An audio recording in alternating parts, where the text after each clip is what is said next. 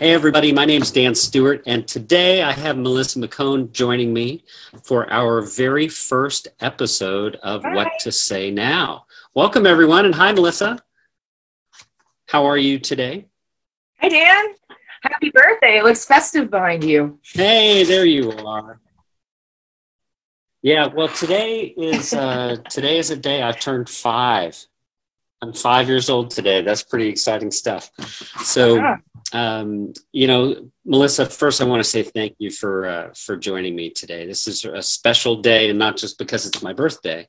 Uh, it's a special day because we are going to start a project today that could be very transformative for you and a lot of people who are choosing to uh, choosing to listen to this broadcast. So once a week, every week on Monday at 2 p.m. Eastern, we're going to go live and we're going to be discussing what to say now. Okay. Now, this is really critical because uh, have you ever, for example, wondered why it is that your prospects treat you like a salesperson instead of simply a person? It turns out that decades of running scripts on people, decades of learning to be a master manipulator instead of a master servant have cost those of us in the sales profession a very great deal. So, uh, today, what we're going to do is start an ongoing conversation that's going to help you break through all that clutter. It's going to help you get to the heart of what it is that people really want. And so you can deliver your message more effectively to them, which helps them first and helps you second.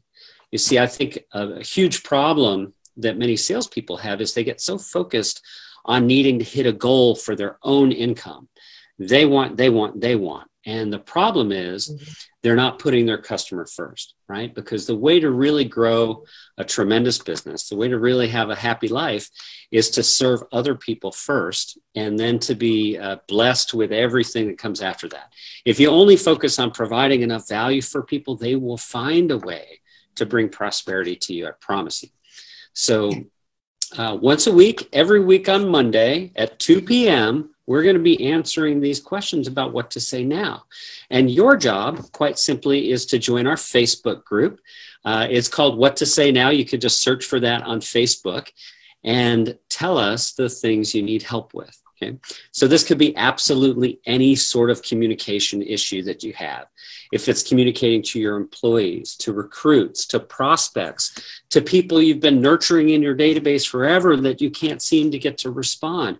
If it's even just how to figure out how to put your database together in the first place, those are all things that we can help you with. And uh, by the way, I'll give you a little bit of a background and introduction for myself.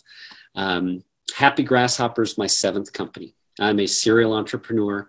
Happy Grasshopper is nearly 10 years old. And over this time, we've helped thousands and thousands of sales professionals figure out how to communicate with their database in a way that allows them to attract more business in a very effortless way. So, uh, right from the start, we've said we're the easiest way to keep in touch. And today, we're going a step further by teaching you exactly what to say. So, Melissa, how are you doing? I'm good. I'm good. I'm really excited about this new person like we put together. I think it's going to be a lot of fun. And I'm glad that you are. I'm glad that What you are. that? There's like a 30 second lag there a little bit. I thought you were totally frozen. There's a, a big lag right now Yeah, I'm I'm really talking when excited about it, you know, so I'm going to step on your toe there.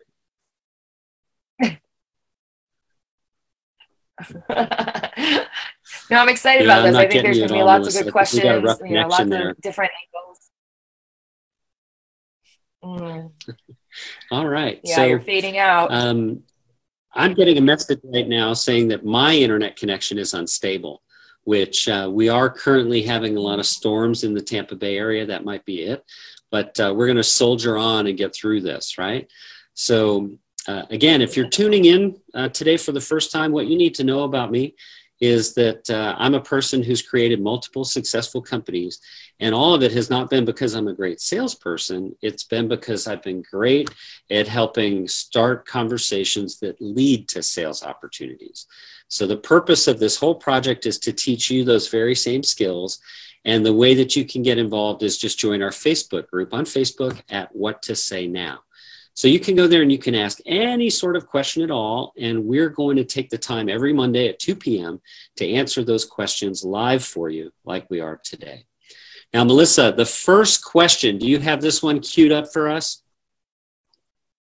Let's see. I am just looking here. You know, it looks like, oh, I also want to remind people it's Eastern time, 2 p.m. Eastern time on Mondays. Being a West Coast girl, I always have to remind myself of the time zones. So, um, yeah, so I'm really excited about this group. I mean, like you said, I think people need to just, you know, get on Facebook, join our group, come hang out with us, you know, and like you said, ask any questions. You know, I mean, again, I forget to reach out to people on a regular basis and then I just don't know what to do. and I get like nervous or embarrassed by that. And that's really, you know, kind of what I think we need to sort of talk about and overcome and help people to feel comfortable with. That's a really great segue to the first question that we've been asked, which, you know, it comes to us from a person who, like a lot of us, is probably feeling a little guilty because they haven't reached out to people who are already in their database. You know, as, mm-hmm. as sales professionals, it's so easy to be focused on those new leads all the time because, oh, it's new, it's fresh, they're ready to buy. Let's hope. We want that to be the case. And yet, there's almost always more opportunity for us within the group of people that already know who we are. So sometimes you get so busy with those new leads, you forget to really nurture the relationships that you already have, and it leaves you feeling guilty, right? If if we have a relationship and I haven't reached out in a long time, I tend to have a feeling like, oh my gosh, I hope they're not mad at me because I haven't reached out. And you know what's funny is I actually have these feelings, right? As the king of keep in touch, it still happens to me. me. It's easy to get so caught up in the day to day that you sometimes don't reach out to people like you need to, right? So uh, when that happens, when you find yourself in that situation, you need to have some language that's going to reach out to them and not make them feel alienated, right? And right. and whatever that language is, it should never be anything that makes them feel guilty, right? You don't want to try to offload your guilt to them. It should be something that expects a reply. So I'm going to model an example here for you. Let's imagine that Melissa and I have known each other for, let's say, eight, nine, ten years. Because guess what? We've known each other for eight, nine, ten years, right? exactly. And and during that time, you worked at companies like RE Technology, right? You worked at companies like DocuSign. And you know, sometimes we'd see each other at conferences on a very regular schedule. And then sometimes we might go for, you know, a year even without seeing each other or without having a conversation. So when that happens, I have a choice that I can make. I can reach out to Melissa in a way that makes her feel as awkward as I do, right? or I can just reach out to her and pretend everything's fine, right? So, because we know each other, we can assume that we've got familiarity within our relationship. This should not be some sort of formal, um, you know, dear Melissa. you know, it should be light, it should be friendly, and it should be the kind of content that makes it easy for her to reply to. So something short like, hey, Melissa was just thinking about you. How have you been? Hey, Melissa, I was just thinking about you. How have you been? Signed Dan, right? If that's an email, could be a text, um, could be a voicemail. I mean, there's all sorts of ways to get that message out there but it feels completely non-threatening. It feels like a human being reaching out to a human being, not like right. a sales professional reaching out to a prospect. Okay. Right. So that's the key tip here is if it looks like sales, if it smells at all like sales or marketing, it becomes very safe to ignore. And you yep. can't be safe to ignore if you're going to build real relationships. Definitely. So, yeah, that's how to handle that one. Absolutely. Yeah. Fantastic. Um, next week uh, on Monday at two o'clock, we're going to have a whole bunch of fresh new questions, and we're going to answer those for you during a live segment. Now, uh, for those of you who are watching this now, I'm doing something very special tonight at 5 p.m. Eastern when I'll be going live on Facebook with my friend and real estate coach, Jared James. So uh, you probably know Jared James because he's amazing. He has made a huge, huge, huge improvement to the way coaching takes place in the real estate world. And I'm super proud of his progress a as a professional. And I'm very fortunate and grateful to call him my friend. So uh, to join us tonight live at 5 p.m., all you have to do is come to Facebook and go to Jared James Today. That's it. Facebook.com slash Jared James Today at 5 p.m. Jared's going to be putting me in a hot seat so that I can help you guys know what to say now. All right. So, Melissa, can you tell me about a time in your sales career when you struggled to come up with some sort of content? Oh yeah. I mean, it happens more often than you think. Um, you know, and typically I try to I try to find something that's familiar and I try to remember, you know, something like are they do they have five kids? Do they have 12 dogs? Do they live on a ranch? I mean, what is that icebreaker going to be, right? Like make it personal.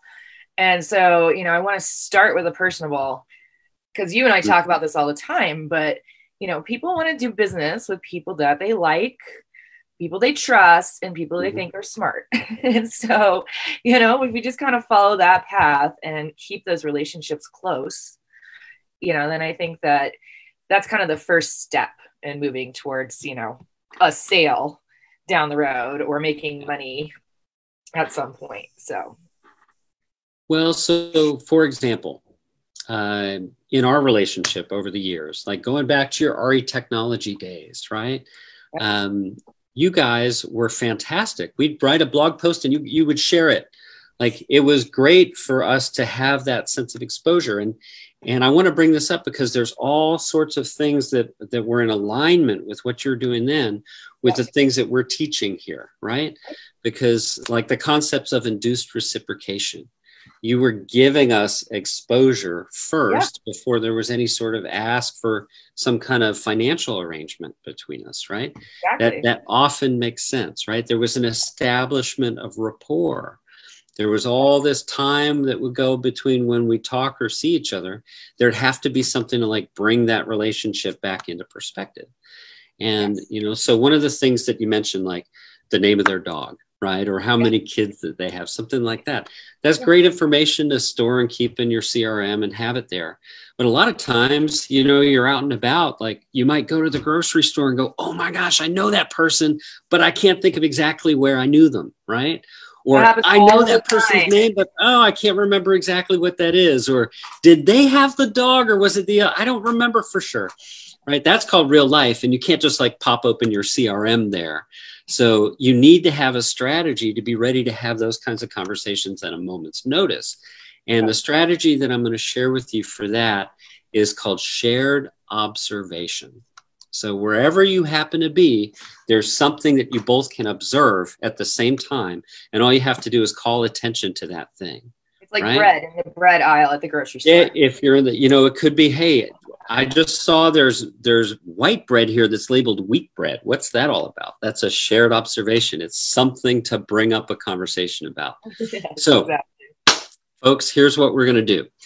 Every single Monday at 2 p.m. Eastern, we're going to go live, with the exception of this coming Monday. It's Memorial Day, right? So we're going to be off with our families, just like hopefully you are. Uh, so we'll be live on Tuesday next week at 2 p.m. Uh, so until then, please get your butts over to our Facebook group. It is uh, What to Say Now, right? So you just have to go to Facebook and search What to Say Now. And it's your job to pop the questions you'd like answered in there. Give us as much detail about the communication situation you found yourself in, and we'll read your, uh, your questions. We'll come up with the right answers, and we'll share them with you and the rest of the world at 2 p.m. Uh, next week. So have a great day, everybody. And guess what? I'm old. Yay! Bye now. Bye. Happy birthday, Dan. Thank you, Brian.